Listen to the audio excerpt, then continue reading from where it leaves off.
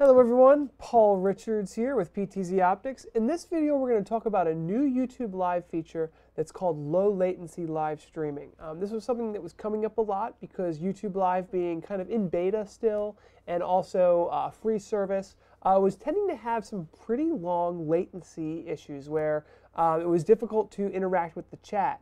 Um, when live chatting is such a big part of live streaming, being able to respond to your audience. So what YouTube has done is they have created a new feature we're going to look at really quickly. And I'm going to talk about uh, the difference between low latency live streaming and buffering, why you would use one versus the other. So without further ado, let's get started. So we are going to go into this, we're going to dig right into this topic. There's basically two options. You know, option number one is uh, when you're talking about low latency live streaming is to do what um, YouTube is calling optimize for low latency.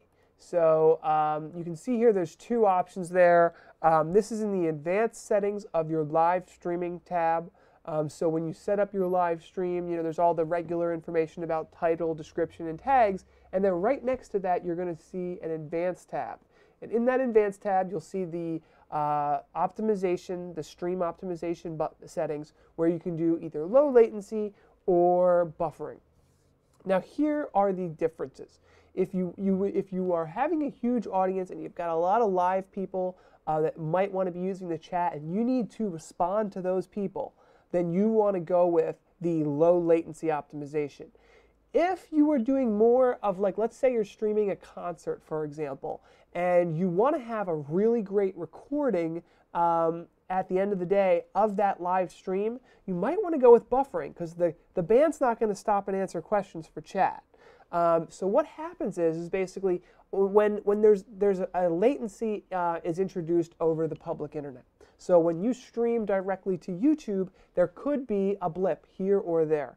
And what YouTube will do is they'll say, hey, look, we're noticing a blip here. Let's, let's introduce a buffer so that instead of actually skipping content, we're just going to slow down our stream because they, they um, and then they have the ability to kind of like smooth out the recorded video. So if you're relying on YouTube to record your video, you may want to optimize for buffering um, so that you can have the best recording possible um, available on demand as soon as your live stream is over. So it really depends whether you need that live interactivity with your audience or you you really want to have that great um, video recorded to be on demand after your live stream. So those are the two things you need to think about um, when you are live streaming something like this.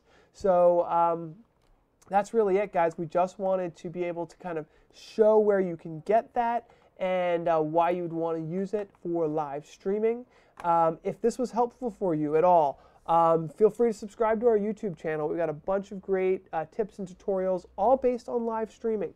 We've got a ton of great content on YouTube Live in particular.